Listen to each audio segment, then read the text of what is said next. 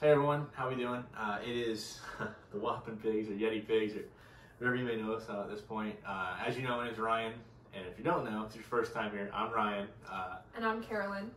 uh, so we also obviously are coming to you making a guinea pig video. We personally have uh, four guinea pigs. We have two of them with us right now. This is Wrigley. She is a white, obviously Abyssinian. Um, she is a handful and a half. She has the biggest personality of all of our pigs. Uh, and she's definitely one of the cutest. Um, and this is Pickle. So they're all baseball related, which pickle is a baseball term. If you get stuck in between two bases when you're trying to steal, like the term "I'm in a pickle." Um, and she just has been rescued a week ago, so she's a little a little shy and uh, A little skittish. a yeah. little skittish. Um, but we are working on quarantining her and warming her up to our other pigs. Yeah, as you can tell, she's like got her feet out and she's just she's just hanging out. She doesn't really know how to how to be held. Uh, this one, on the other hand, unfortunately, we did we did shop before we adopted or rescued, and this is what came out of it. This one, her sister Natty, which we'll show you in a later video. Uh, but come, speaking of that, we have two other guinea pigs. We have a American satin named uh, Natty after the Cincinnati Reds. We're from the Midwest, obviously. Yeah. This is Wrigley, named after the Wrigley Field for the Cubs, and then Natty's after the Reds. And then we're currently living in Houston, Texas. So our other rescue that was rescued uh, with this this little guy or little girl uh, is Astro, and she's a big, chunky American guinea pig. She is a big chunky pig. Uh, but speaking of that, also we have a TikTok which we'll link in the description, and an Instagram which we'll also link in the description. You guys can go check those out whenever you want. This one is being inquisitive. What are you doing? Uh, but yeah, so today's video we want to come and introduce ourselves. Uh, if you're coming from TikTok, make sure you comment down below a little picture of a, of a, guinea, of a guinea pig uh, from the emotes or emojis. Um, if you're coming from Instagram, uh, put a little picture of the camera, like how they used to have like the, the Instagram logo. Uh, but welcome, welcome either way. And then, so like I said, the point of the video for today is just to, to go over some do's and don'ts, some first time guinea pig owner questions, some um, issues or mistakes that we made that we want to address for someone that's brand new getting their first guinea pig, and so they don't make the same mistake. So if you want to start us off. Yeah, so um, I got my first guinea pig. His name is, um, or was, Pogo. When I was in the sixth grade, after wanting a hamster and writing my parents a persuasive essay about how he was responsible enough, and then discovering through my small pet research that guinea pigs are actually one of the best companion animals um, ever, and changed to that. And uh, I had Pogo. My sister had multiple guinea pigs growing up. Um, so that brings me to our first mistake was that I only had one guinea pig. Granted, he was socialized with other guinea pigs in the house, but they didn't live together. Um, and I, what we've noticed when we got Wrigley and Natty, and now working on bonding our others in, is that they do so much better as a group. Having at least two, the amount of energy I've seen has been so much more than what I saw um, from the guinea pig that I had growing up. And so that's definitely something to consider. Your costs don't actually go up that much if you're getting a proper size cage, like the food and hay will be a little bit more expensive because you have two eating more, but your costs aren't going to double. Yeah, the only thing that you're going to have an issue with too is the cleanup is going to double. But if you're already taking care of them and you're cleaning up as should be with one, it's the same thing. There's just a second one. You're not getting a second cage. Just a little bit more poop to scoop. That's about it. Yeah. So um, that's the first tip. Try not to have one. There are loner piggies. There are pigs that cannot be socialized. That and that's very. I think it's like five percent of pigs that can't be. Mm-hmm. So it makes sense sometimes, but the majority of the time, if you're getting one, get them a friend. And try to get a same sex pair. Uh, girls are easier to bond. Males need a little more space, a little more territorial. So that's why we have our four guinea gals. Right, yeah, so that's uh, that's the first tip. Like we said, is if you're gonna get one, get two, get a pair. Um, the second thing, the second tip we want to go over is the cage. So, disclaimer: if you can't afford something, then you can't afford it. You can't make yourself buy something. But at the end of the day, the, the cage you're going to get, you're going to want to get is a CNC cage. Uh, basically, they're going to come with a bottom, which is uh, what's what's the bottom called? Coroplast. A coroplast bottom that's going to be in the shape of a rectangle or a square, depending on how small a cage you get. But then you're going to come with a bunch of grids and ways to assemble it. The point of that is there's no roof. Um, they don't feel like they're in prison 24 7, and then i'm going to give a couple more benefits. Yeah, so they have a lot more room. So um, another mistake that I made in middle school was getting a typical pet store cage. Now I did eventually get two and like put them together so that my pogo had more room, but pet store cages uh, really aren't. Um, she said my hand. You smell the veggies. Um, but they're really not the proper size for guinea pigs. They get zoomies, and uh, they need a lot more space to run. Like think about rabbits in the wild, how they run. Guinea pigs like to run like that, so making sure they have enough space. Um, as well, CNC cages are with like fleece liners end up being a lot easier to take care of. And in reality, I think we spent about a hundred dollars on ours, and we ended up spending like another seventy-five to get a loft. But for the basic cage, it's a hundred dollars. Then our pet store cage that we got for two pigs was like eighty dollars. So it didn't end up being that much more expensive, and it's been a lot healthier for our pigs. Also, um, so speaking of CNC cages, we are going to be linking any products that we use that we think are best. Uh, so we'll link where we got our cage. We'll link where we got our fleece liners, which as of right this minute, we are using GuineaDad fleece liners. Uh, this is not an ad or a sponsor or anything like that. Just uh, we are using them because we just like the products. We like the little sacks they can they can burrow in. Um, on top of that, we're using your pretty much your, regular things. couple hides. Uh, we are using an Amazon hide as well that clips to the top of the CNC cage. Uh, but that, that's the big thing. That's that's the second tip: is do not buy a pet store cage. Uh, if you cannot afford anything like that and you need to save up to get a CNC cage, we would rather you start off with a, a cheap one, a cheap pet store cage if you have to, but you ultimately you should be working towards a CNC cage. Mm-hmm. Um, I think the third tip, if you want to.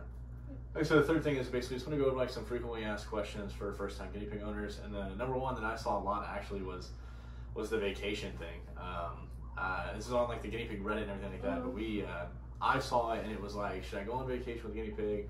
Like that, and you know, the, the top responded answer Mhm. was you can uh, for a day or two, three days at most at a time. You can leave them overnight. Mm-hmm. Uh, anything beyond that needs to be because someone that you know coming to check in on them because, well, they eat a lot and they poop a lot and they drink a lot of water.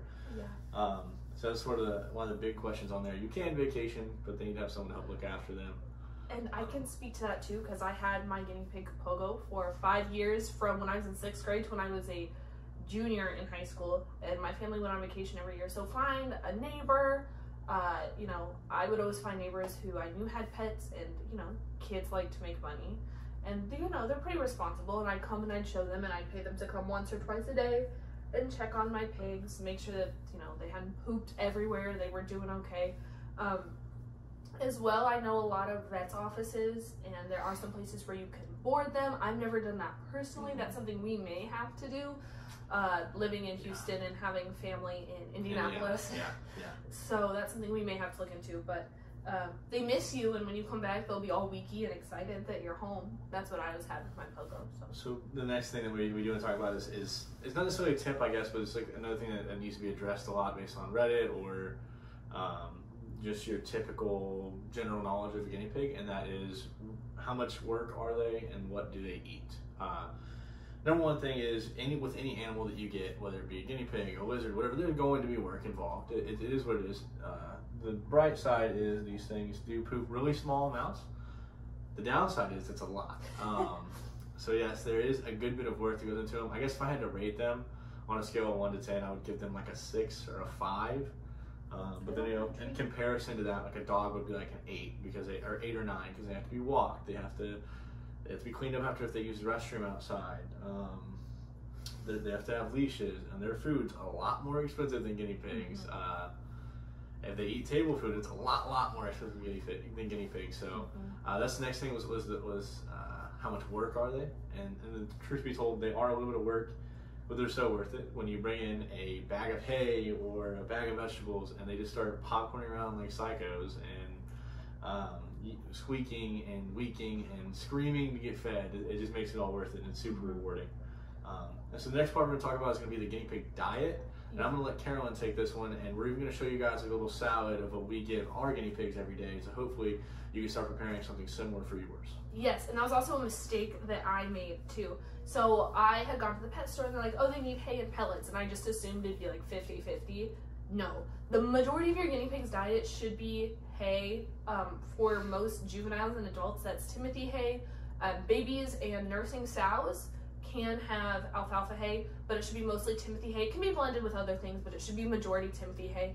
Uh, right now, we're feeding a Timothy orchard glass, orchard grass rather, excuse me, um, blend because that's what they had at the store. But they kind of pick out the Timothy parts. They prefer to eat that. They pick out the parts they want. Yeah, Mhm. well, you walk up and you'll see them standing on two legs, just picking out the good parts of the hay. Yeah. Um, and then, so that should be like 75% of their diet. Another like 20%, 15, 20% should be pellet food. Uh, so we feed a Timothy based pellet food that has um, supplemented with vitamin C because guinea pigs cannot produce their own vitamin C. So you have to make sure you are providing it. And so um, there are treats and stuff you can add it um, in all different ways, but we prefer through pelleted food. And then vegetables, fresh vegetables every day. Um, I would feed mine fresh vegetables every day, but I would usually go with like a carrot or something, which they can eat and they love. Carrots are like guinea pig chocolate. Um, but the majority of their veggies should be leafy greens, um, preferably dark leafy greens. We do feed romaine lettuce and stuff. The only one you should really avoid is like iceberg lettuce because it doesn't have any nutritional value for them. But No point. um, I'll show you how we make a salad for them, and hopefully you enjoy that. They'll definitely enjoy it. Absolutely, yeah. So the next thing we're gonna do is um, we've introduced ourselves, we've introduced our guinea pigs. We just want to show you them and show you a brief glance at our setup. Um, the, the editing coming up might be a little shaky. It's my first time doing it, but uh, yeah, we'll show you guys our pigs and we'll show you our setup, and then we'll go to our kitchen and we'll show you how we prepare uh, our guinea pig salads for our girls, and then we'll wrap up the video. So uh, we'll see you guys in a few seconds. Bye. Hi everybody, these are our piggy salads. We have a big one for the three girls and this is for quarantine pig. Um, they're getting parsley, which is this dark stuff right here, romaine lettuce, uh, spinach in the middle, and green bell pepper. This morning they had kale, cilantro, and spinach. So we're mixing it up, some different greens, and I'm excited to give these to our piggies. Mommy's got veggies, mommy's got, mommy's got snack. Mama's got snack. Hi, babies. Natty, it's over here, pretty. What are you doing, Goof? It's over here. Astro. Hi, everyone. So this is our CNC cage. Over here, we have the kitchen, which is filled with all of their hay, and there's bedding under there. They do a lot of their business.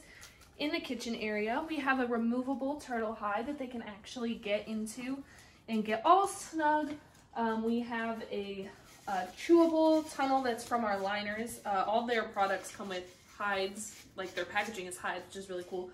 We have two food bowls because they don't share very well. We're trying to get them all adjusted. We have a hide over there uh, that they sleep in. They also sleep in this little Amazon tent hide and in the corner they can go under the purple. And then at night we switch out the turtle for this big old hide. Sometimes we put hay up here. They love to climb it. And then over there, we have Pickle in our old pet store cage uh, sitting in her hide munching on some lettuce. So hope you enjoy our setup and eventually we'll be adding a second story. So we'll be sure to keep you all updated on that. Hey guys, this has been our first ever YouTube video here. Uh, welcome to Yeti Pigs. If it's your first time on the channel, like we said, make sure you like, comment, uh, subscribe for more content. Down below, you'll find links to all of our socials, our TikTok, our Instagram, everything that we have.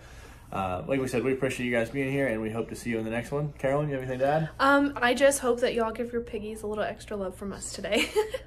Bye, All guys. right, bye.